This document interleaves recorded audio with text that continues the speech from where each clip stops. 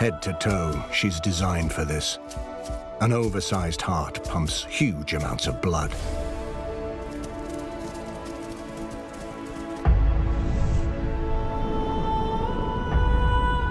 Floating shoulder blades.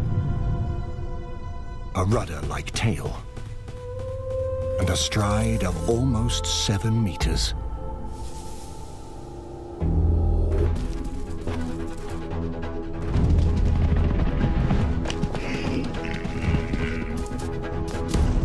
Often, her feet don't touch the ground.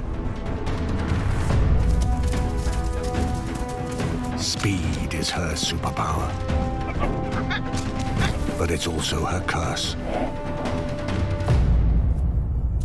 Sometimes, being fast isn't enough.